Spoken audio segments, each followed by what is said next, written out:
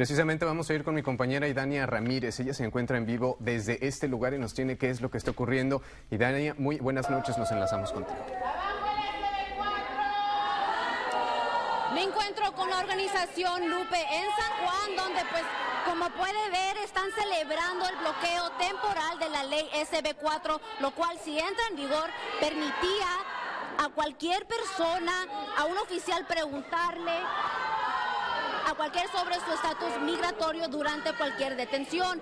Esto también niega la necesidad de que agencias de la ley locales cooperen con un oficial de inmigración de ICE, lo cual era requerido por la ley SB4. Y bueno, pues aquí me encuentro con la directora de la organización Lupe. Dígame, ¿cómo se siente que este, pues la SB4 actualmente está bloqueado y qué significa para la comunidad inmigrante? Mira, como pueden ver, la comunidad está mucho, muy contenta. Esta fue una lucha de muchas organizaciones, de ciudades, de condados.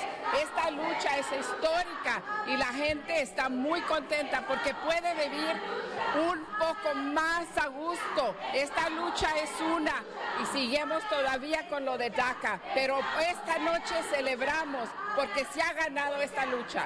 Bueno, muchas gracias y pues con solo dos días antes de entrar en vigor, el juez Orlando García decidió congelarlo temporalmente, ya que recibió demandas de varias ciudades del estado indicando que la ley viola derechos constitucionales como la libertad de expresión, el debido proceso de la ley y les otorgarían policías locales poderes correspondientes del gobierno federal. Y pues ahora los demandantes eh, tienen que mostrar que esas leyes son violadas por la SB4, pero mientras tanto esta ley no entrará.